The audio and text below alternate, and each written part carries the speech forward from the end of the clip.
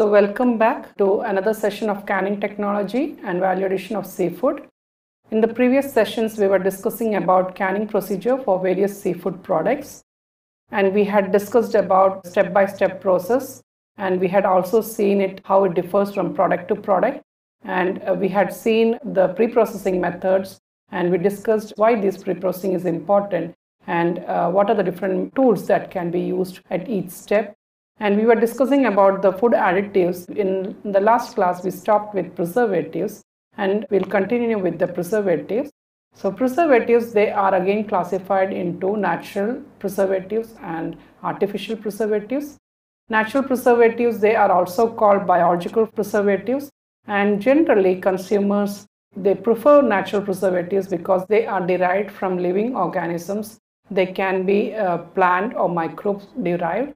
And these are generally secondary metabolites that are produced by plants or microbes as a defense mechanism. So whenever there's an infestation or there's some threat to the plant or to the organisms, they produce a secondary metabolite to protect themselves. And these secondary metabolites they are considered or they are used as preservatives.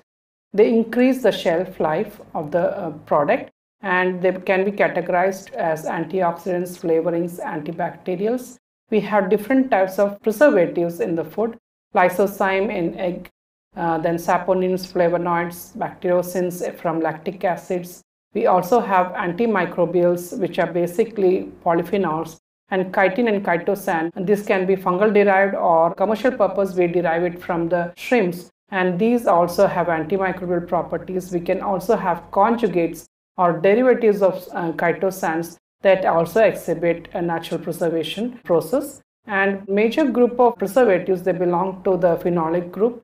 And these are very strong antimicrobial agents. And basically, they have phenolic functional groups and to this group, uh, eugenol, thymol, carvacrol, these are some of the examples of uh, plant phenols. And basically, they interrupt with the uh, cytoplasmic membrane.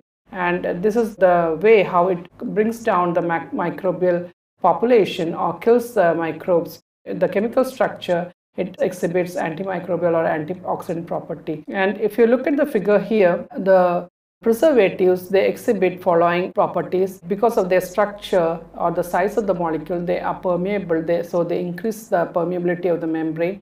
They may enter into the cytoplasm and lead to coagulation so that cell integrity will be lost. And it will also act on ATPase, so ATPase molecules may be arrested or they may not be available. Then it alters the cell membrane and also disturbs the cell membrane permeability and integrity of the cell membrane. Eventually, the microbes are lost or they are killed. And then uh, it also exhibits anti-quorum sensing. Uh, quorum sensing is the property of microbes where they identify the population and it, it is a genetic mechanism by which they, they respond to the, the other microbes. So this is also interfered uh, when preservatives are added. But a major disadvantage of bioactive components of plants are that though they have antimicrobial property, they have to be added in higher concentration.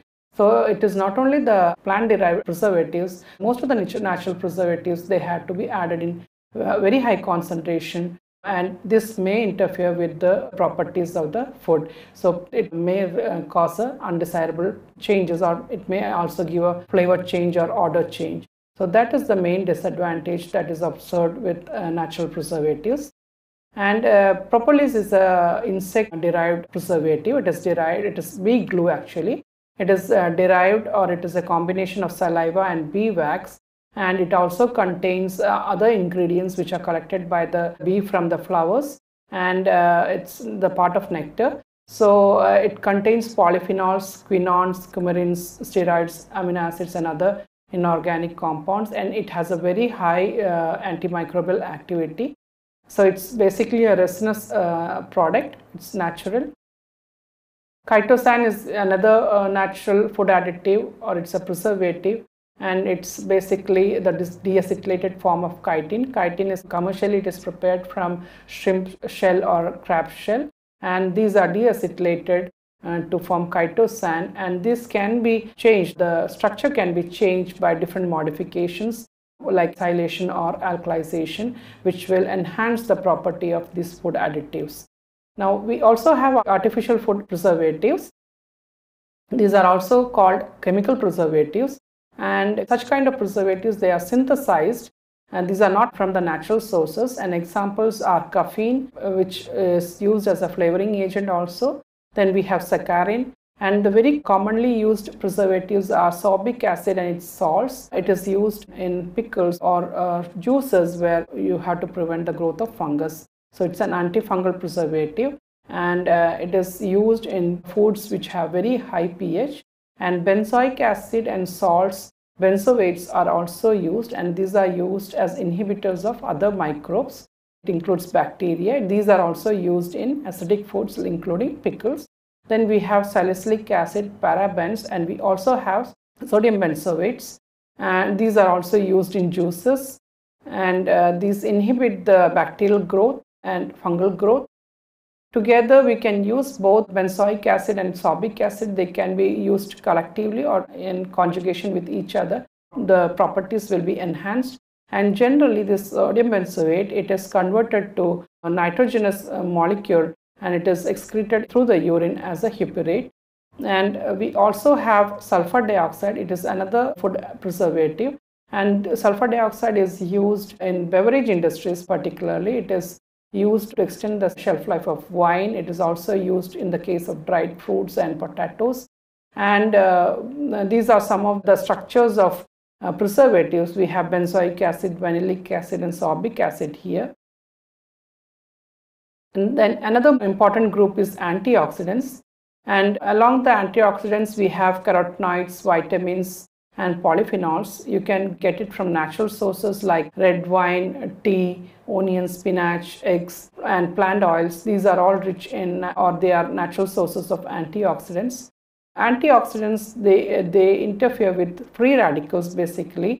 So free radicals which have an odd unpaired electrons in the outer electron, they are highly active and they can be related easily to oxidative uh, damage. So we have reactive oxygen species and reactive nitrogen species and we also have superoxide radicals. They are generated as a part of energy generation, as a part of electron transport chain.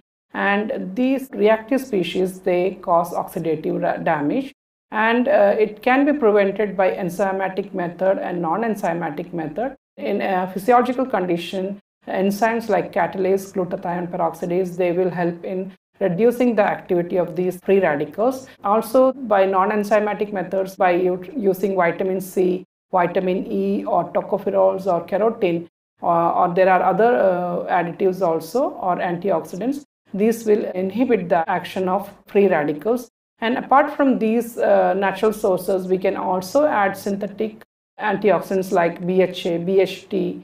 We also have ubiquinone. So these are synthetic ones. So there are many ways to minimize the action of free radicals and prevent oxidative damage. This can be done with the help of enzymes or it can be done without the help of enzymes. In such cases, we have to go with the additives and also a mixture of additives. So these antioxidants, their property can be enhanced when they are mixed together. So they exhibit synergistic activity and uh, it's a better result actually. When it prevents the antioxidants, when it prevents oxidative damage, it prevents change in flavor, change in color, change in texture. It also uh, protects the other macro components and micro components. But these uh, changes, the oxidative damage in the food, it can be related to cancer or it can be related to other health issues, even cardiovascular diseases, it can be correlated. So uh, when we prevent oxidative damage in food, can have a control over such kind of diseases. Also in, in our body, when we are stressed up, free radicals are produced in large amounts. And uh, this in a physiology, uh, the enzymes can play a very important role in preventing or reducing the amount of free radicals. So free radicals, they are a very big area and it need lots of attention. Uh, the oxidation, it starts with uh, initiation. We have product which releases the free radical and this free radical, it couples with oxygen and propagates the reaction and this continues uh, un until it is terminated by another free radical. So here antioxidants comes and binds and it is terminated. So whatever free radicals has been produced, if it is allowed to bind with the antioxidant, immediately we can stop the reaction. So that is why antioxidants are very important. And antioxidants, they lower the activation energy, they donate hydrogen, that is they are proton donators, they hold back lipid oxidation, and they also block the generation of free radicals and further they are of different types natural and artificial antioxidants now these are the different artificial uh, antioxidants we were talking about. We have propyl gallate, we have BHA, BHQ. So the typical structure of antioxidants, they help in preventing oxidation. So basically what we have seen preservatives, antioxidant and nutritional additives, they are the most important ones. But we have other additives and uh, we can see here in this uh, slide we have gums, we have thickeners, stabilizers, accelerators. Accelerators are chelators. They chelate the uh, metals. For example, there are uh, reactions where metals, they uh, speed up the reaction. They act as catalysts. So such metals, they can be trapped and made unavailable. Chelators and sequestrants, they do the same job. EDTA is generally used as a chelating agent. Then we have propellants. Propellants are inert gases which are used in whipping cream and other things. And then we have glazing agents, gelling agents, starch and other polysaccharides. Then we have flour treatment agents. These are used for dough making, for bake in bakery industry. We have flavor enhancers, which enhances the flavor. MSG is a flavor enhancers.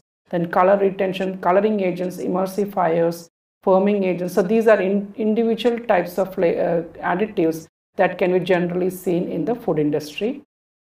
Not all food additives are good and also there's a level for using food additives. We cannot use a random level.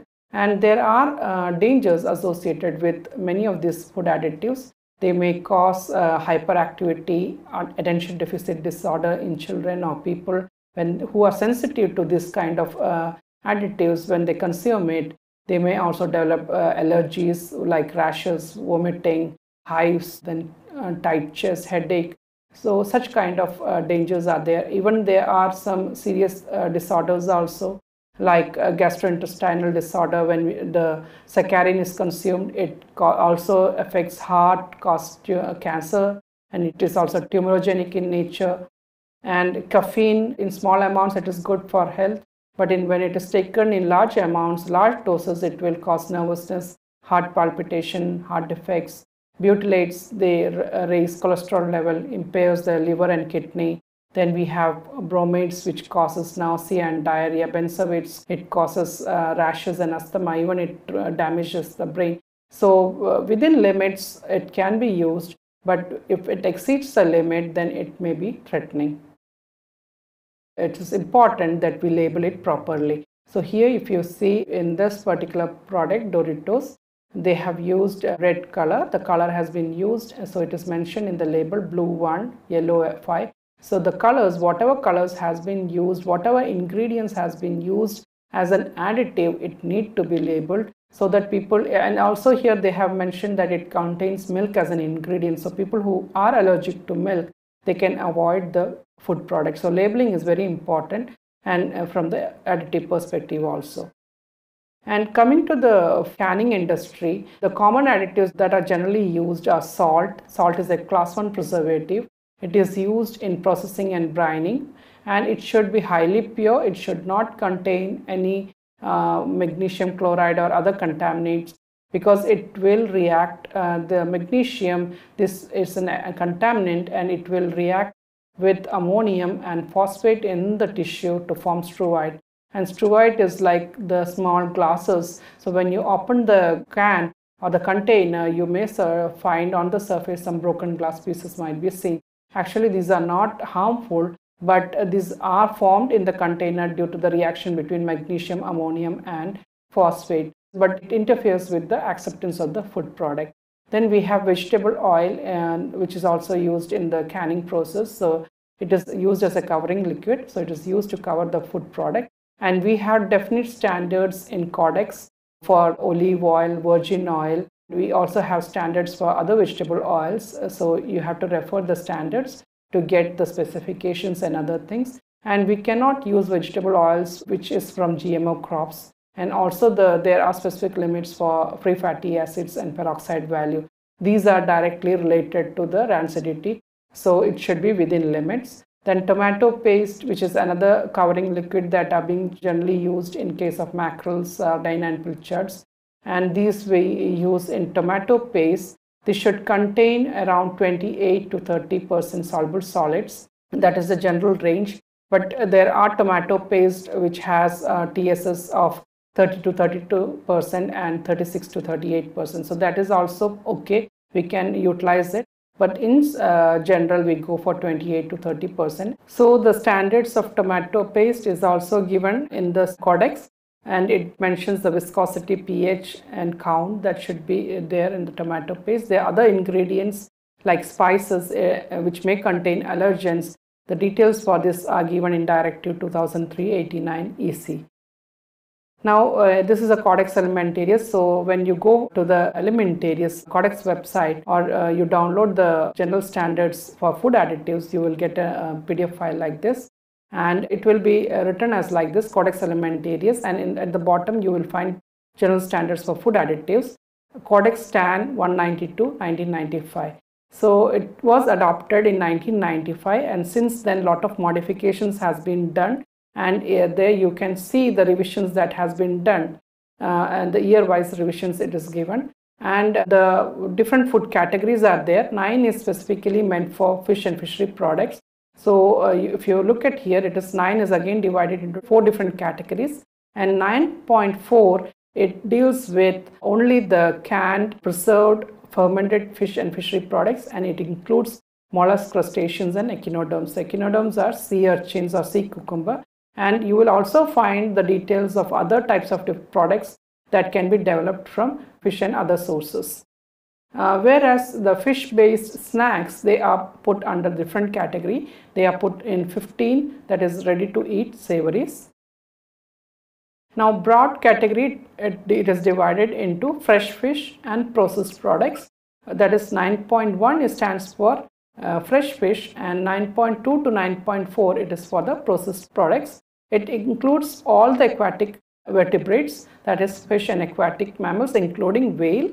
It also includes mollusks, then aquatic invertebrates like jellyfish, crustaceans, and echinoderms.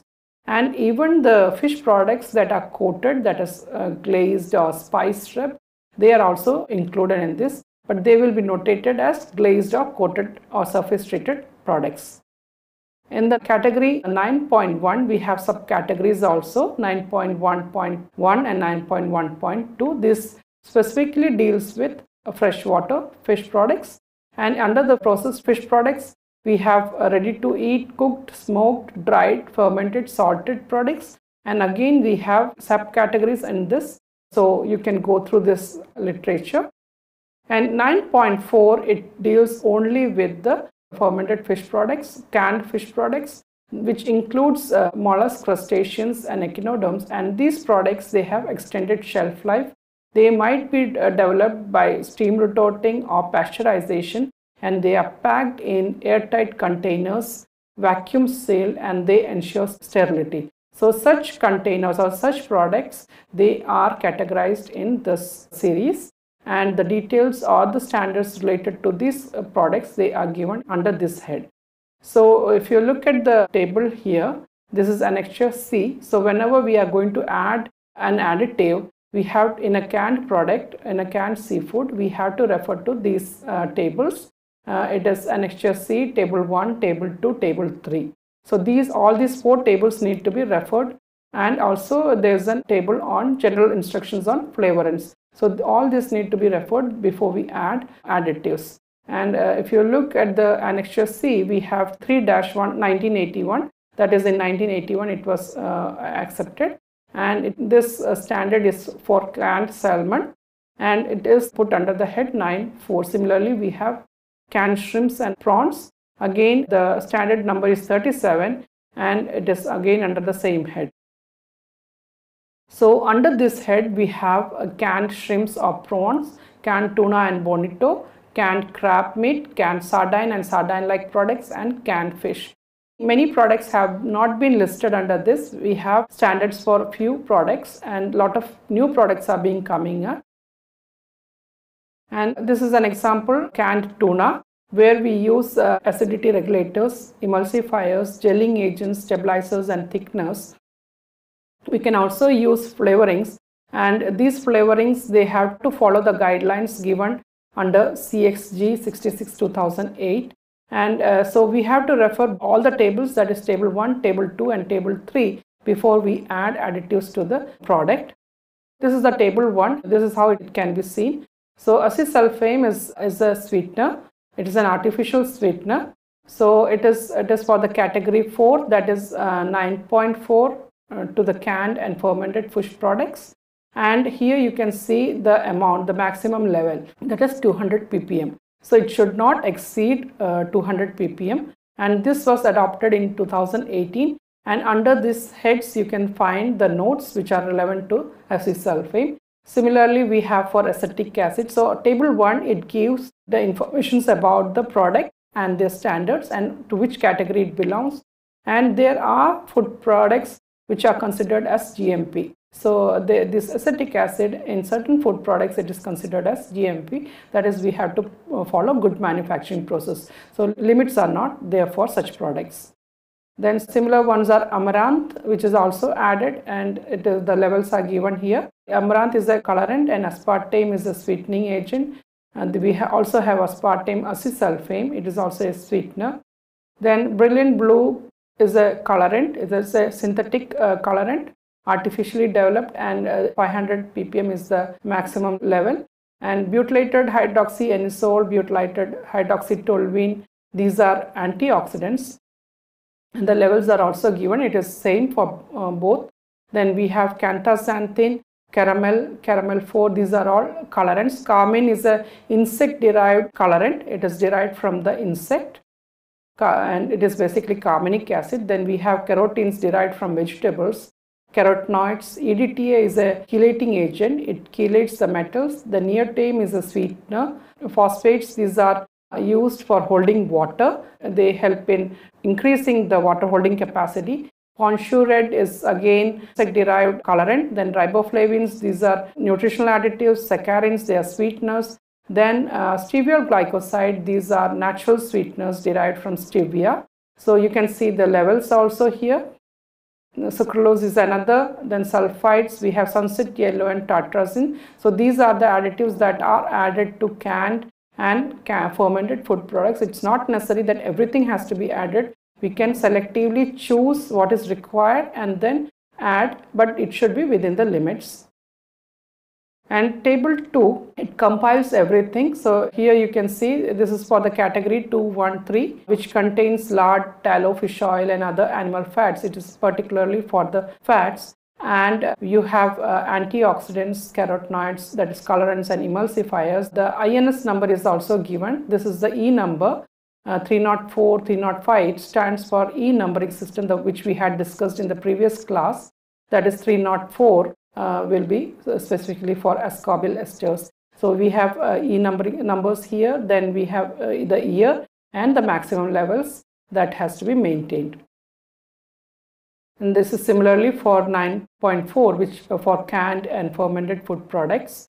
Uh, so you can see here we have acesulfame, it belongs to 950 E number, similarly the year and the uh, maximum level.